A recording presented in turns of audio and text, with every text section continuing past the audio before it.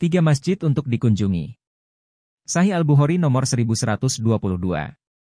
Dari Abu Said Al-Hudri radhiyallahu anhu, dari Nabi Shallallahu alaihi wasallam, beliau bersabda, Tidak diperbolehkan bepergian bagi wanita selama dua hari, kecuali bersama suami atau mahramnya.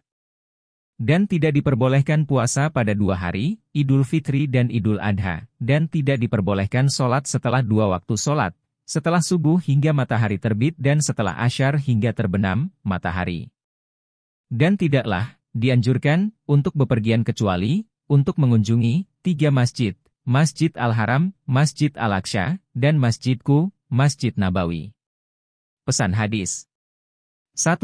Seorang wanita tidak diperbolehkan bepergian selama dua hari tanpa suami atau mahramnya. 2. Hukum berpuasa pada Idul Fitri dan Idul Adha adalah haram. 3. Tidak diperbolehkan sholat setelah dua waktu sholat, setelah subuh hingga matahari terbit dan setelah asyar hingga matahari terbenam. 4. Tidak dianjurkan bepergian untuk mengunjungi masjid tertentu kecuali Masjid Al-Haram, Masjid Al-Aqsa, dan Masjid Nabawi.